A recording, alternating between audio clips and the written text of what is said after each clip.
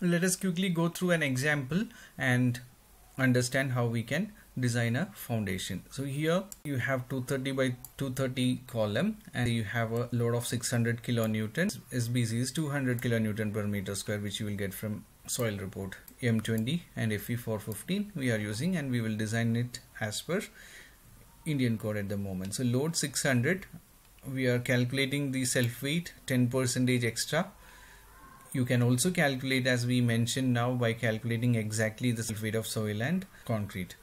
So here I'm taking 10% extra so 60 kilonewton. Total load becomes 660 and area required is 660 divided by 200 and you get 3.3 now we are assuming it to be a square footing because you have a square column. So for square columns square footings are better because the cantilevers on either side will be equal. So if you have rectangular column then it is ideal to have rectangular footing so that this cantilever and this cantilever can be equal. So if this cantilever and if this cantilever are equal you will be able to optimize the design because the cantilever is lesser. If you give different cantilevers then one dimension will increase. One cantilever will increase and that will result in an economic design. Your depth cannot be different in two direction in case of footing. It has to be a single depth. So it is sensible to have lesser cantilever which will help in having lesser depth.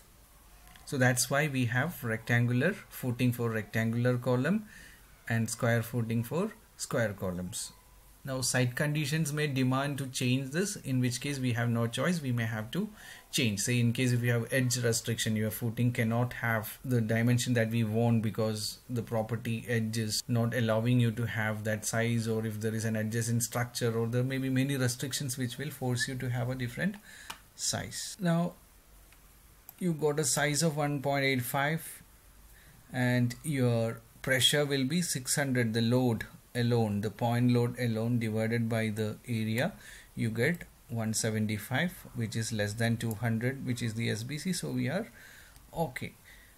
Now the factored pressure is 263 175 multiplied by 1.5 as per IS and the factored load is 900 so that is your factored pressure and load. Now design for punching. As per IS you have d by 2 away you are punching will be d by 2 away from the face. So as an example you consider a paper kept on top of a sharp pin it will punch through and it will create a through hole.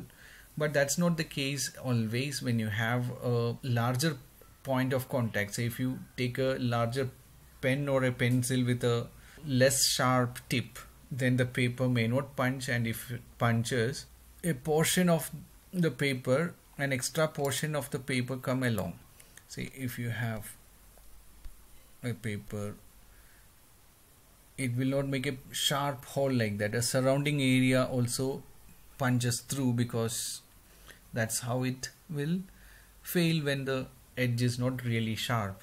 So if you average out this dimension you get around d by 2 in case of a concrete foundation or a slab. So that's what we are taking. And in case of British standards it is taken as 1.5 D away from the support.